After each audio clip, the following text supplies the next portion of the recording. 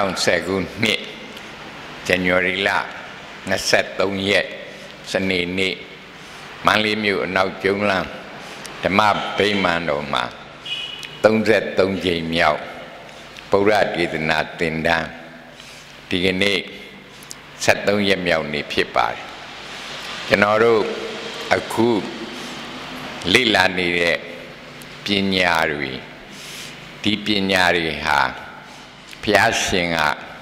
သင်ကြားပုချပေးခဲ့တဲ့တဘာဝပညာတွေအဲ့ဒီတဘာဝပညာတွေနဲ့ပတ်သက်လို့ကျွန်တော်တို့တည်တင်တည်တိုက်တဲ့အခြေခံတဘာဝကိုလေ့လာတာလေ့လာတဲ့အခါမှာအခုလေ့လာခဲ့သမျှအကြောင်းတွေကိုခြုံငုံသုံးသပ်ပြီးကြည့်မယ်ဆိုရင်ကျွန်တော်တို့ရဲ့ရုပ်ခန္ဓာအကြောင်း ရုပ်ခန္ဓာကထုတ်လုပ်နေတဲ့ရုပ်စွမ်းအားများအကြောင်းကျွန်တော်တို့ရဲ့နာမ်ခန္ဓာအကြောင်းနာမ်ခန္ဓာကထုတ်လုပ်နေတဲ့စွမ်းအားများအကြောင်းဒါတွေလေ့လာပါတယ်အဲ့ဒီရုပ်စွမ်းအားတွေနာမ်စွမ်းအားတွေအလုတ်လုတ်တယ်အဲ့ဒီအလုတ်ကြောင့်ထွက်ပေါ်လာတဲ့အလုတ်စွမ်းအားတွေ အဲ့ဒီအလုတ်ကိုပါဠိလိုကမ္မခေါ်တယ်အလုတ်လို့လို့ထွက်ပေါ်လာတာကိုပါဠိလိုကမ္မတတ္တိခေါ်တယ်အဲ့ဒီကမ္မတတ္တိကိုမြန်မာနဲ့လို့ပြောတော့ကံစွမ်းအားလို့ပြောတယ်အဲ့ဒီကံစွမ်းအားတွေဟာလည်းပဲကျွန်တော်တို့ရဲ့ယုတ်ခန္ဓာနှင့်နာမ်ခန္ဓာများအလုတ်လုတ်တိုင်းထွက်နေတဲ့စွမ်းအားတွေဆိုတာကိုသိပါပြီ ပြီးတော့အဲ့ဒီအလုတ်လုတ်တိုင်းထွက်ပေါ်လာတဲ့စွမ်းအားတွေဟာပြစ္ဆုတ်ပန်တဲ့တဲ့အလုတ်လုတ်ချိန်မှလည်းပဲအဲ့ဒီစွမ်းအားတွေကထောက်ပံ့ပေးပါတယ်ပြီးတော့အဲ့ဒီစွမ်းအားတွေဟာချုပ်ငိမ့်ပျောက်ကွယ်သွားတာမဟုတ်ဘူးเนาะဒီစွမ်းအားတွေဟာပြုလုပ်သော ရုပ်ခန္ဓာနာမ်ခန္ဓာတို့ဤအဖွဲ့ဒီခန္ဓာ၅ပါးမှာပဲစုဝေးပြီးတော့တည်ရှိနေတယ်အဲ့ဒီအချက်ကိုတည်တည်ချာချာသဘောပေါက်အောင် နားလည်အောင်စဉ်းစားထားဖို့တဲ့နော်အဲ့တော့ကျွန်တော်တို့မှာရုပ်ခန္ဓာရှိတယ်နာမ်ခန္ဓာခေါ်တဲ့စိတ်အဖို့ရှိတယ်ပြီးတော့ဘာပါရှိတော့ကံဆွမ်းအားတွေလည်း ရှိတယ်အဲ့ဒီကံစွမ်းအားတွေထဲမှာကောင်းတဲ့ကံစွမ်းအားလို့ခေါ်တဲ့ကုသလကမ္မစွမ်းအားတွေလည်းရှိတယ်အကုသလကမ္မလို့ခေါ်တဲ့မကောင်းတဲ့စွမ်းအားတွေလည်းရှိတယ်အဲ့ဒီစွမ်းအားတွေကသူ့ဟာနဲ့သူစွမ်းအားပြည့်လာပြီဆိုရင်ကောင်းကံနေစွမ်းအားပြည့်လာရင် ကောင်းသောအကျိုးကိုဖြစ်အောင် ဆောင်ရွက်ပေးတယ်မကောင်းတဲ့ကံစွမ်းအားတွေအားပြည့်လာပြီဆိုရင်မကောင်းတဲ့အကျိုးတွေထွက်ပေါ်လာအောင်ဆောင်ရွက်ပေးတယ်ဒီတဘာဝတွေတည်တည်ချာချာရှိနေတယ်ဆိုတာကို ကိုယ်ပိုင်ဉာဏ်နဲ့စဉ်းစားဖို့ဒီပညာကိုသင်နေပါတယ်သင်နေတော့အရေးကြီးတဲ့အချက်တွေက ဟောဒီကံစွမ်းအားဆိုတဲ့ကံစွမ်းအားဟာတဲ့အခုပစ္စုပန်တဲတဲ့မှာအလုတ်လုတ်နေတဲ့အလုတ်တွေကြောင့်ထွက်ပေါ်လာတဲ့ကံစွမ်းအားတွေအဲ့ဒီပစ္စုပန်ဘဝဒီဘဝဒီချိန်မှာလုတ်တဲ့ကံစွမ်းအားများကသူ့ရဲ့လုပ်ငန်းအနေအထားသူ့ရဲ့အရှိန်သူ့ရဲ့စွမ်းအား အကြီးအငယ်အမျိုးမျိုးရှိတယ်အဲ့တော့အဲ့ဒီမှာစွမ်းအားထက်မြက်တဲ့ကံစွမ်းအားကဒီပြစ္ဆုတ်ပံဘဝမှာလှုပ်ထားပြီးရင်ဒီပြစ္ဆုတ်ပံဘဝမှာပဲအကျိုးပေးတဲ့ကံစွမ်းအားမျိုးလည်းရှိတယ်နော် အဲ့ဒီကံအမျိုးအစားကိုဒိဋ္ဌ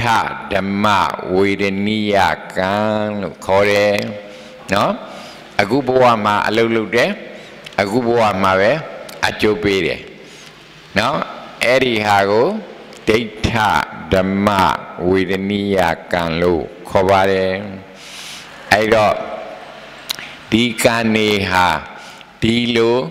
တစ္ဆုတ်ပံဘဝမှာအကျိုးပေးနိုင်တဲ့စွမ်းအားရှိတယ်လို့တဲ့ဒီဘဝမှာအကျိုးမပေးသေးပဲနဲ့နောက်ဒုတိယဘဝကြာမှအကျိုးပေးမဲ့ကံစွမ်းအားတွေလည်းရှိတယ်တဲ့နော်အဲ့ဒါကိုတော့ဥပပိဇဝေဒနိယကံလို့ခေါ်ပါတယ်နော် အေးအဲ့ဒီလိုဒုတိယဘဝမှာအကျိုးပေးမဲ့ကံစွမ်းအာမျိုးအပြင်တိတဲ့ပို့ပြီးတော့ထူးတဲ့ကံစွမ်းအားကတတ္တယဘဝသတုဋ္ဌဘဝပြင်စမဘဝဆိုတဲ့နောက်နောက်ဘဝများကြမှအကျိုးပေးမဲ့ကံစွမ်းအားလည်းရှိတယ်သူ့ကိုတော့အပရာပရိယဝေဒနိယကံလို့ နာမည်ပေးထားတယ်နော်အဲ့ဒီတော့ကံစွမ်းအားဆိုတဲ့စွမ်းအားသည်အကြောင်းတရားပေးတဲ့အကျိုးတွေကိုဝိပါကတရားဟုတ်ကလားပါတယ်နော်ကာမနှင့်ဝိပါကတို့ဆက်သွယ်ရာမှာပြစ္ဆုတ်ပံဘဝမှာအကျိုးပေးတဲ့ကံဒုတိယဘဝကျမှအကျိုးပေးတဲ့ကံ ပြီးတော့ပါတော့တတိယစတုထဖြစ်တဲ့နောက်နောက်ဘဝများမှာအကျိုးပေးတဲ့ကံအဲ့ဒီလိုရှိတယ်အဲ့ဒီကံတွေဟာတဲ့နော်ဒီခန္ဓာ၅ပါးမှာပဲစုဝေးနေတာသူတို့အကျိုးပေးရမယ်အချိန်အကျိုးပေးနိုင်တဲ့ပြည့်စုံမှုအစွမ်းထက်လာရင် အကျိုးပေးပါတယ်တဲ့နော် အေးအဲ့ဒီမှာစဉ်းစားရမယ်အချက်ကလေးကိုတဲ့သေးသေးချာချာစဉ်းစားတဲ့အခုပြစ္ဆုတ်ပံဘဝမှာပြုသောကံပြစ္ဆုတ်ပံမှာအကျိုးပေးတတ္တယဒုနောက်ဒုတိယဘဝမှာမှာအကျိုးပေးမဲ့ကံ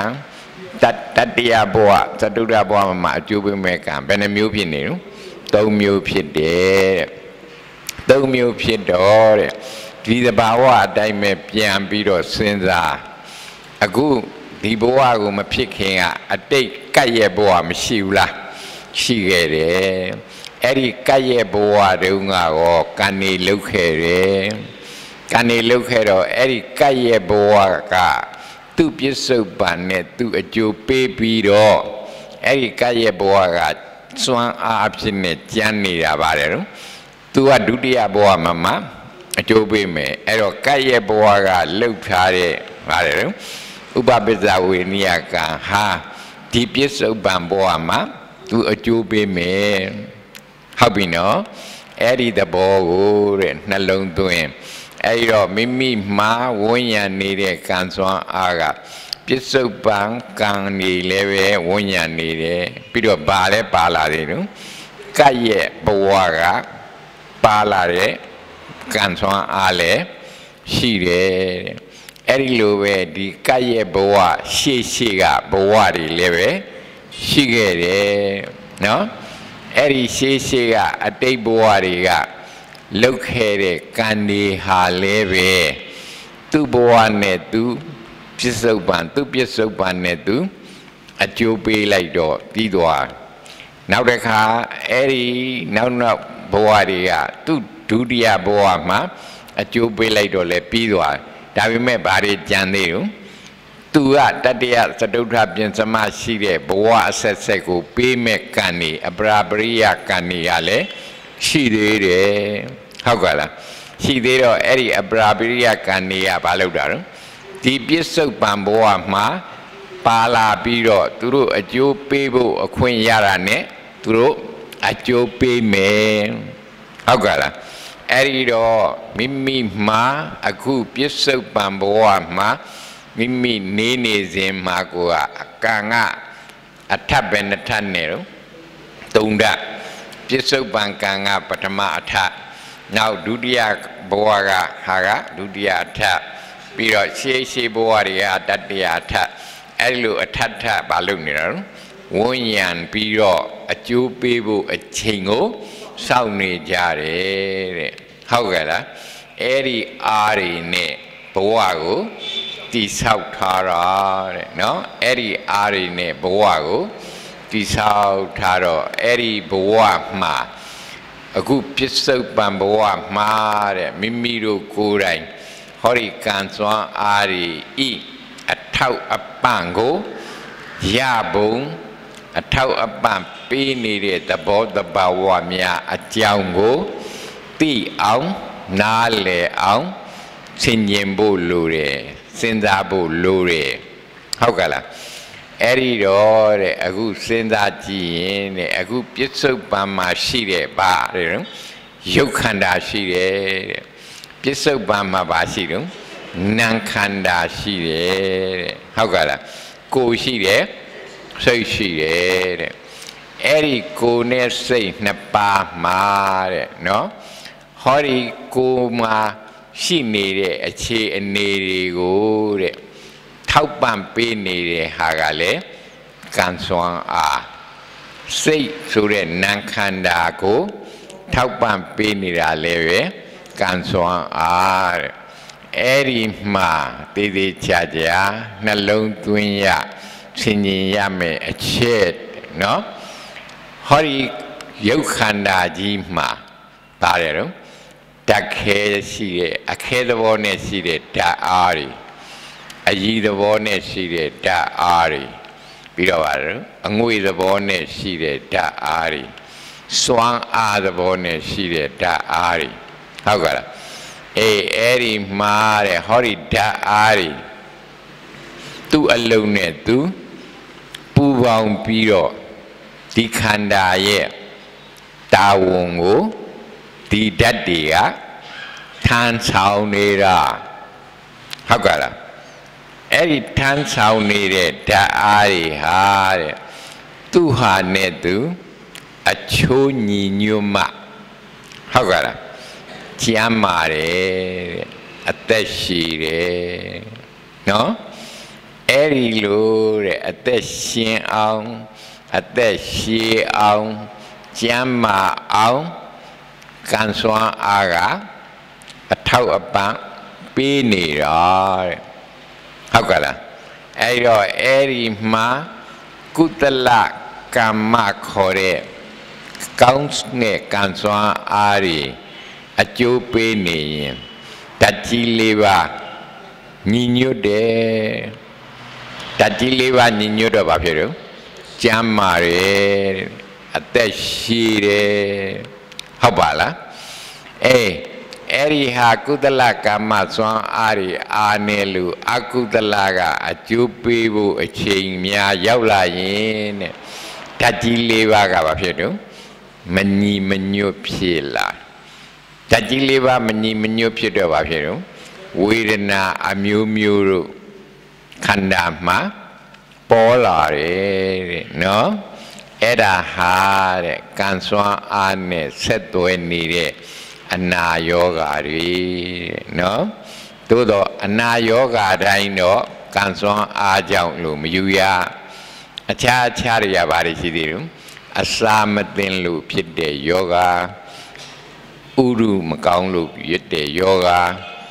စိတ်ဆင်းရဲလို့ဖြစ်တဲ့ယောဂါတွေလည်း ရှိတယ်နော်အေးအဲ့ဒီတော့တဲ့သေသေးချာချာစဉ်းစားကြည့်ရင်ကံစွမ်းအားသည်ပါတယ်တော့ရုပ်ခန္ဓာကိုတဲ့ဘာလို့တာတော့ထောက်ပံ့တဲ့နေရာမှာကုသလနဲ့ထောက်ပံ့ရင်ကောင်းသောအကျိုးရတယ်အကုသလနဲ့ထောက်ပံ့ရင်မကောင်းတဲ့အကျိုးယောဂဝေဒနာအမျိုးမျိုးခံစားရတယ် ဟုတ်ပါပြီအဲ့ဒီဟာကိုတဲ့တည်တည်ချာချာနှလုံးသွင်းဖို့ဆင်ញင်ဖို့တဲ့ကံစွမ်းအားဤအတိတ်ပဲကိုပေါက်ရောက်ဖို့တဲ့ကံစွမ်းအားကအခုရုပ်ခန္ဓာကိုထောက်ပံ့တဲ့သဘောကိုသိအောင်ဆောင်ရွက်ပေးပါတယ်တဲ့အဲ့ဒီမှာမှတဆင့်တက်ပြီးတော့စဉ်းစားတဲ့ ဟောဒီယုတ်ခန္ဓာကြီးမှာရှိနေတဲ့ကုဋ္ဌာသားတွေဒီ32ကုဋ္ဌာသားတွေအစဉ်ပြေပြေနဲ့အလုတ်တွေလုံနေကြတော့ဟဟောဒီအလုတ်တွေလုံနိုင်တာဟာရှင်လဲရှင်လို့တဲ့ကျမ်းမာလဲကျမ်းမာလို့တဲ့ဒါပေမဲ့လို့တဲ့အရေးကြီးတဲ့အချက်ကြမ်းနေတယ်တဲ့ပါတယ်တော့အော်အခုပြောနေတဲ့စကားတွေ နာကကောင်းလို့ကြားနေတာအခုမြင်နေရတယ်ရေးထားတဲ့ဒီယူရင်းနေစာတွေအခန်းတွေပုံကိုယ်တွေကလထိုင်းသဘောတွေအဲ့လိုမြင်နေတဲ့မြင်မှုကိစ္စကိုဆောင်ရွက်ပေးတာပါတယ်နော်မျက်စိဆိုတဲ့ဓာတ်အကြည်ယုတ်မျက်စိအားကောင်းလို့မြင်တယ်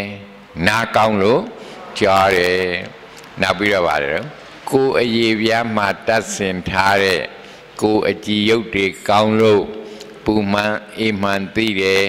ပြောမှန်မှမှန်သိတယ်နော်ဒဏ်ရာဒဏ်ကျက်ကြတာကိုလည်းသိတယ်ဟုတ်ကဲ့လားပြီးတော့ပါတယ်နော်နှာခေါင်းအကြည်ယုတ်ရှိလို့အနံ့အမျိုးမျိုးကို ကောင်းတဲ့အနံ့မကောင်းတဲ့အနံ့သိရတယ် ရှားအကြည်ယုတ်ရှိလို့အချိုးအချင်းအဖန်ခါကိုသိရတယ်တဲ့ဟုတ်ကဲ့လားအေးအဲ့ဒီယုတ်တရားတွေကိုအကြည်ယုတ်လို့ခေါ်ပါတယ်အဲ့ဒီအကြည်ယုတ်တွေဟာလည်းပဲဒီကံစွမ်းအားကြောင့်ဒီလိုထူးတဲ့အလုပ်တွေကိုလုံနိုင်တာတဲ့နော်အဲ့ဒီလုံနိုင်တော့သူတို့ဟာလည်းပဲခုနကပြောလို့ အာဟာရတို့ဥဒုတို့စိတ်တို့ကထောက်ပံ့နေဆိုတော့လေထူးတဲ့စွမ်းအားကပါတယ်နော်မြင်သည်အားကြားသည်အားအနန္